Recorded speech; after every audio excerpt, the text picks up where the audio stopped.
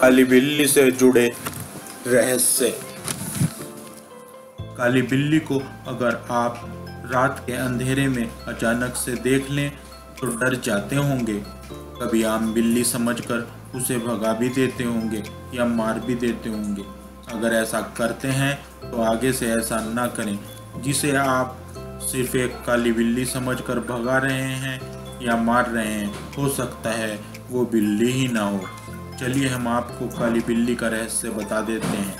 अक्सर काली बिल्लियों के अंदर आत्माएँ घूमती हैं और वो बिल्ली के अंदर प्रवेश कर जाती हैं और इधर उधर भटकने लगती हैं। उन काली बिल्लियों की आँखों का रंग बदलता रहता है। वो आम बिल्ली न, नहीं रह जाती हैं, कुछ और हो जाती हैं, उनमें शक्तियाँ होती हैं। रात को, चांदनी रात में बिल्लियाँ भटकती फिरती हैं चांदनी रात में वो चाँद को देखकर अपना असली रूप में आ जाती हैं और फिर वो अपने दुश्मनों पर वार करती हैं।